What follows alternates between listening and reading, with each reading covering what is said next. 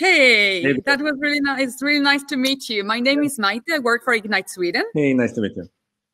Yeah, I was watching your pitch and I actually, there was something that really caught my mind. I will read it because I had to actually take note of that.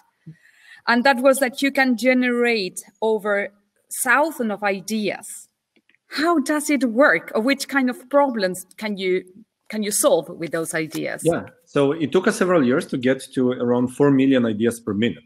So it's wow. Uh, and we we operate in around 20 industries uh, globally. Uh, we are particularly passionate uh, passionate about uh, decarbonization. Uh, you can actually discover novel opportunities to decarbonize, but also um, also helping companies invent and innovate. So uh, areas where AI can actually help coming up with creative ideas, for example, for how to repurpose uh, chemicals or other assets of a company in order to create environmentally friendly products, is yeah. where, where sometimes uh, human creativity with the cognitive biases and bottlenecks uh, uh, creates a limit. Yeah, and you have customers all around the world. I read somewhere that you have many customers that I found mm, that were are featured some 500 uh, companies, top companies in on Fortune. Tell us about your customers, like your, you know, the ones that you're working with, even if you cannot say uh, names. Yeah, just... so so happy to. So uh, so one uh, which just recently released a press release is Baker McKenzie, uh, a global law firm, and the the vision is to to jointly uh, disrupt the, the the legal industry, where machines can help not only uh, Uh, go deeper, but also uh, strategize and uh, and uh, create new services uh, the, and faster turnaround.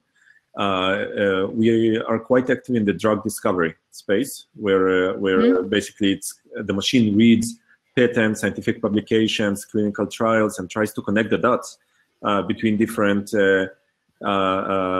different bits of information that appear in different places and uh, by connecting them you can actually start uh, creating a fire hose of ideas that uh, that uh, the experts can then review. And even in the um, um, actually in in the area, Dagens Nyheter, we help them increase their customer engagement. Um, and reduce churn. They actually published about it on the on the web. Uh, so it's very diverse. Uh, um, yeah, I can see. Yeah. So, for example, Equinor is one of our clients and uh, and partners and uh, it, it, we are quite a, um, I would say, broad and generic general purpose company. Uh, when we mentor startups, we typically tell them to focus, and here we do the complete opposite uh, with Spark yeah. Beyond and uh, keeping the company very, um, um, I would say, horizontal in nature. Yeah, because well, there was something that you told us about like the noble causes. And you gave us many case examples. But how did you come up with the idea? How did it started? Which year? Tell us about that. Yeah so it started actually not as a company but as a garage experiment.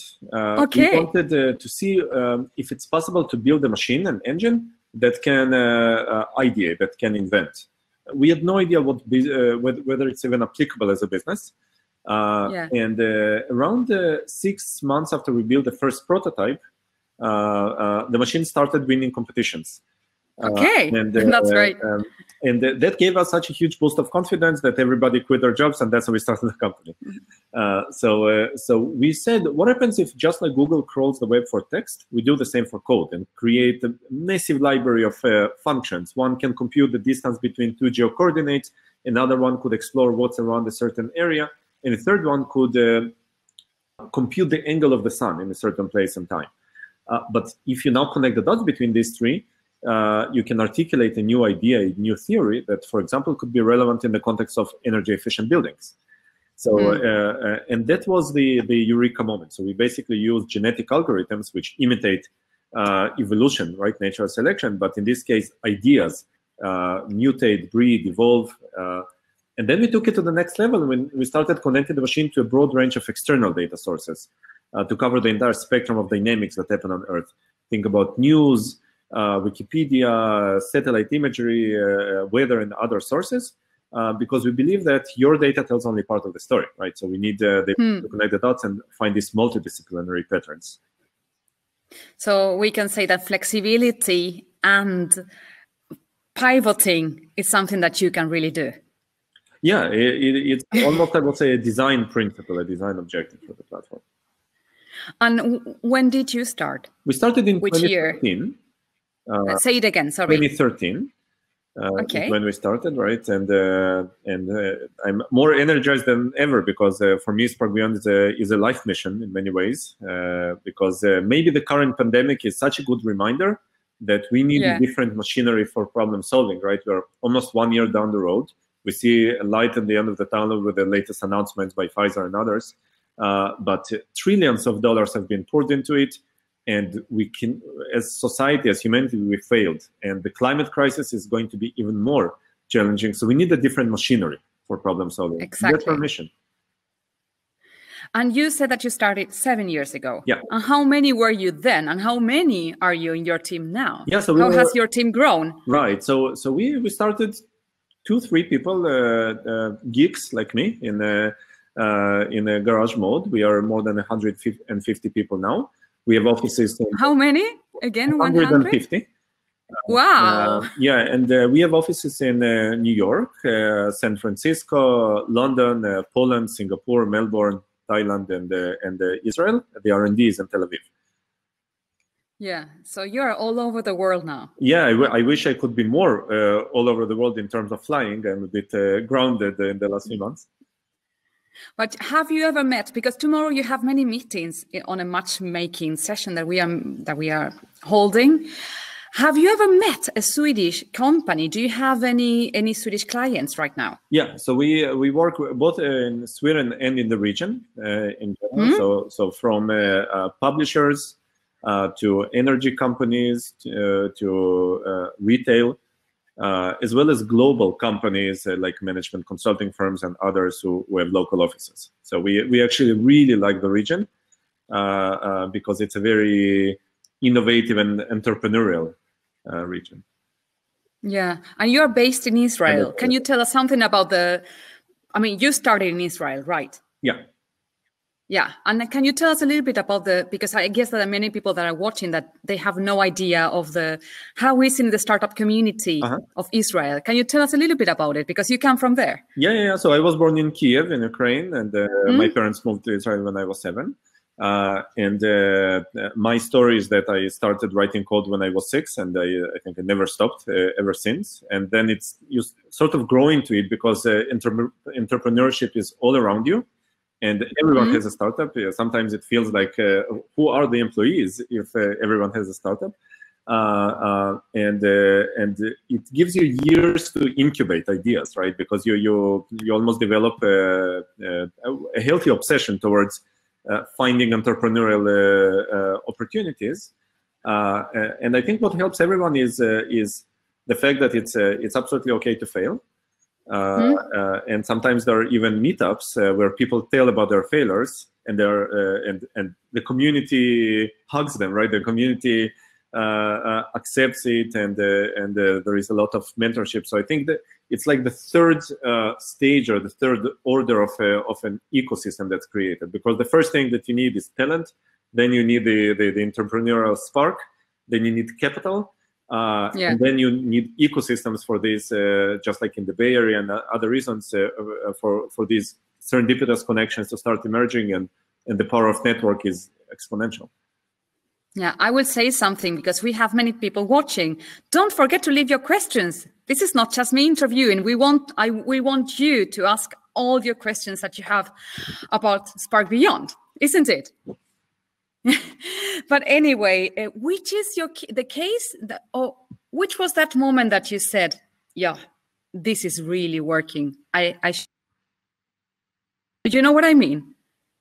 Like yeah, the, because you said that you have won many prizes in the beginning. Which was the moment said, "Okay, I will so go for it." Right. So there, there are very interesting uh, um, machine learning competitions like uh, like Kaggle and uh, and uh, when we gave uh, the software to to one of our investors who, is not a data scientist and he won the first place in several competitions that was the moment that, that, we paused for a second and we said we have something special here the other one is when a global um, um, company, a Fortune 500 company, actually ran a competition. More than two, 200 companies applied, and after winning this, it uh, turned into a strategic partnership. And what we realize is that the uniqueness of SparkBeyond is the fact that while the majority of companies in the machine learning and the and analytics space, uh, they solve the problem of building a predictive model or, or classifying something, recognizing, and basically replicating the cognitive capacity of the human brain, which is wonderful. You can easily automate the, the like 15, 20% of the world GDP in the next 10 years just through, uh, I don't know, autonomous vehicles and drones with computer vision and the, uh, and the chatbots in call centers, etc., and Amazon Go-like experience. Uh, uh, yeah. We are fascinated about the opposite end of the spectrum, which is can we give the, the machines the capacity to be creative, curious, innovate, invent? So not just predicting the future, but shaping it. And now don't forget, because we have only, I would say, three minutes left. So don't forget to leave your questions there. And I have another one. I have many questions myself, uh, which are actually, what do you expect from this pitch competition? And what is your call call to action right now? Yeah. If you have to say to others, what's your call of call to action? So what will my most important, my primary uh, call to action uh, is uh, to drive people to create networks and to combine for uh, for uh, startups and uh, and more established uh, corporates and uh, and the countries to to collaborate because we have a massive challenge, uh, which is the climate crisis. We will need to to re-engineer mm. the entire economy, and everyone needs to join forces because we don't have time. So this is the primary call to action, right? Let's create the connection. Yeah. Let's collaborate. Let's let's iterate. Let's experiment. Let's take risks because we need bold uh, moves and fast. Yeah, that's a, that's a great answer, I would say. And you talk a lot a lot about sustainability. Which are the sustainable development goals that you are targeting with your solution? Yeah. Or we have a question here, so afterwards I can say it. Uh, yeah, so so uh, the the most important SDG that uh, that we care about, of course, uh, it's very hard to to uh, to compare, uh, is the climate crisis. Uh, but there is another important SDG which talks about the infrastructure for technology innovation and progress. Mm. These are not the exact wording, uh, but uh, yeah. we need to step up, step up in the in the, the rate that we develop. I will uh, answer Amit's question. Yeah, exactly. I, I, I, will read them out, out loud. Best su- suggestion from Lagi, I don't know if I'm to build trust in this online only situation we face now. Yeah, I, I think that's uh, maybe a, a, comment. The next one is the. Yeah, what was your M- MVP like? Yeah, uh, so the, the, the MVP, the minimal viable product, uh, uh, was actually just the engine. Uh, I would not even say that maybe it was not viable. Mm-hmm. because because we actually provided professional services on top because we were equipped to operate the engine and we bootstrapped it and only later one year later we built an envelope of the user interface on top so it was very backend core engine algorithm AI focused uh, and not uh, not user experience focused. In hindsight, I would say it's not necessarily the right approach. Sometimes a better approach is actually start with the end experience, uh, uh and maybe you actually do not need as much hardcore technology as before. Uh, as you yeah, and this is the last question that we have here, and I think that's a perfect ending. How we can collaborate remotely with you? Oh, easily. Uh, I will uh, leave my details uh, in the chat. Yeah, exactly. Do it and, now. Uh, and 99% of our activity, particularly these days, is uh, is remote. We we both have presence, global presence in different countries, but also we had to to build the entire organization around the, the ability to to collaborate remotely. Trust is super important in this case. Yeah, well, we got a little bit more questions, but the thing is that we have to go back to stage now because it's you know, like now 1455 Swedish time, we have more more programs. So leave your question. I mean, leave your questions. Leave the leave your contact details there. I would leave it open for a few minutes, so you can take note of those contact details. And I we will see you back on stage. Thank yep. you. Bye. Bye bye.